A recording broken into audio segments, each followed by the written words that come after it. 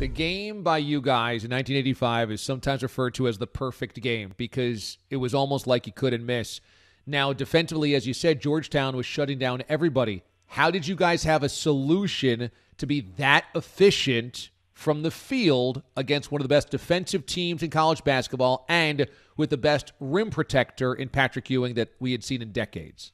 Well, you know, the, the thing about our team was, and, and the thing about Coach Massimino's teams were, they were very smart, and we were a possession by possession team.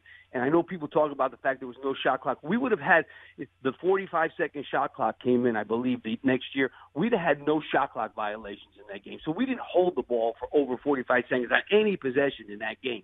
Um, so we were a possession team. We were very, you know, Coach Massimino called every single play, but the key was what we did defensively we played great on offense. We did turn the ball over a little bit, but you know, we go nine for ten. We only take ten shots in the second half and make nine of them.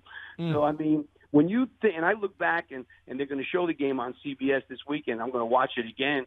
I mean, some of the shots that we made were incredible, but it really was was the defense, and and we were thankful. I'll tell you one thing: we were thankful. We were thankful that we played Georgetown instead of St. John's. And people will say, yes, absolutely, because Coach Massimino was a matchup zone guy. And Georgetown, for if they had a weakness, it was they were not a great perimeter shooting team.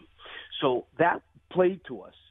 St. John's had Chris Mullin, and Chris Mullin, obviously, he, he was a lot more than just a great shooter, but he was so hard to match up with in a matchup zone that he was he just torched us three times. So we were much better off playing Georgetown, and because it was a it was a good matchup for Coach Massimino, because he knew we could pack this thing in and challenge them from the perimeter and rebound the ball, which obviously is always big with them. Play slow, not hold the ball, but play slow.